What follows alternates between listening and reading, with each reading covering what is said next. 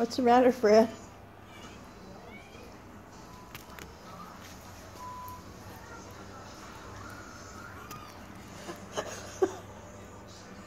Go play, Fred. Go play.